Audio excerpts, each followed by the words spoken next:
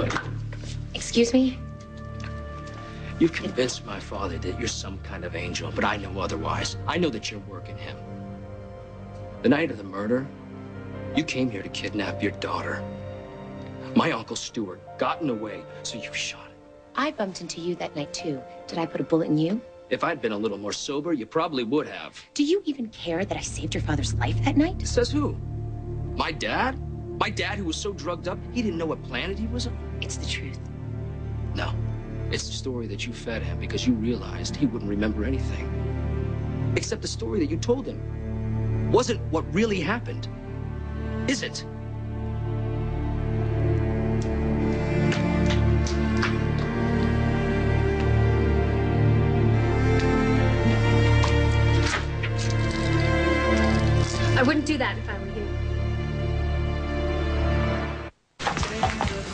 Zach, any word on Kendall? Working on it. I want to help. All right, let's start by keeping our voices down. Come here. You can't tip off the cops. Zach, she's out there somewhere and she's alone and she's really scared. And of course she is. I'm gonna find her. Make sure she's in that courtroom. How you can do that? I mean, we all know that Kendall is innocent. How in the world are you going to convince her to go on trial for her life? I don't need this button to summon security. My lungs are quite adequate. I assume you're here to finish the job? I'm here because I need your help. You want me to help the woman who murdered my brother? Adam, for the tenth time, I did not kill Stuart. Annie did. So why are you still defending her? Because she has done nothing wrong. Are you sure about that? Yes. Quite sure. See, I don't believe that. You are way too smart to believe anything just because Annie says it's true. And you expect me to believe you? If not me, then my mother. She's been there for you, Adam. She's been your friend. She's been there for your family. And right now, she needs your help. She needs you to know that her daughter is not a killer. Are you honestly going to side with Annie, a, a total stranger, over the best friend you have?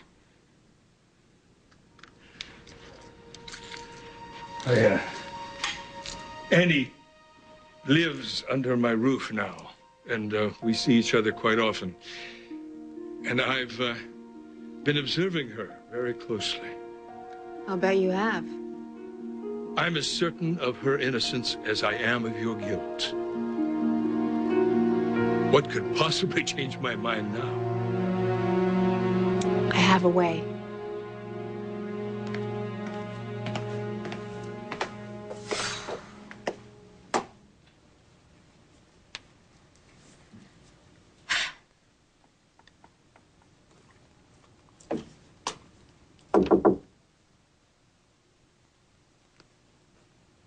Hello? Henry?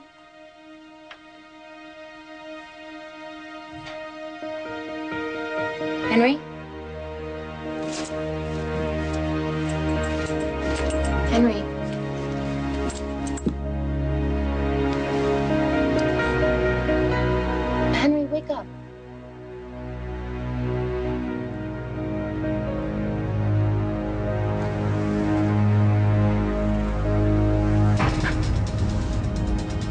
Oh my god. Oh my god.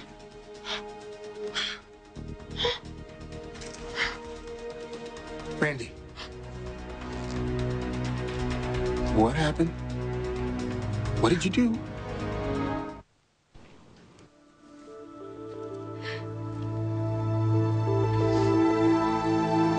Please tell me you found him like this.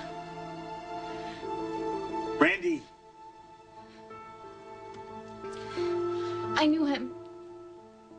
Henry North was a was an ex-client that that somehow became more than a client. Somehow he showed up in Pine Valley and he just kept on talking about how much he loved me and and, and how we needed to be back together and it, it was like he was obsessed. I, I, I don't right, know. slow down. Take your time. Slow down. I just wanted him. I just wanted him to forget about me. And what happened? He started touching me. And and then he, he, he pushed himself on me and and he wouldn't let go and then I grabbed the bookend. I think I'm gonna be sick. Okay. Try, try, to, try to steady yourself. Try to calm down, okay? He's dead, isn't he? I killed him. Why wouldn't you come to me? Why wouldn't you let me help you with something like this? Henry was never a violent man. I don't know. I thought that I could talk to him, that I could, that I could, I don't know, put some sense into his head so that he would, he would back off you and back off Kendall. But I don't know. Henry changed. What am I gonna do? What am I gonna tell Frankie? Come here, come here, come here.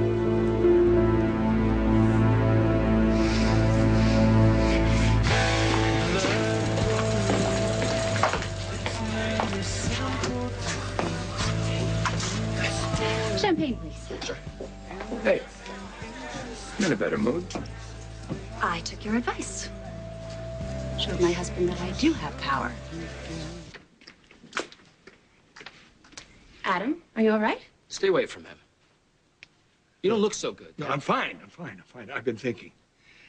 And it's as, as if a cloud just suddenly lifted from my head. Everything's clear.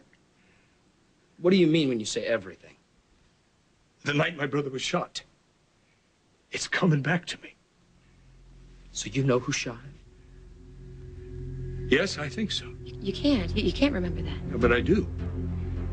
I remember the room. I remember my, my brother's body and, and, and the gun. Adam, maybe you should lie down for a little while. No, no, not a chance. Not when I finally get into the truth.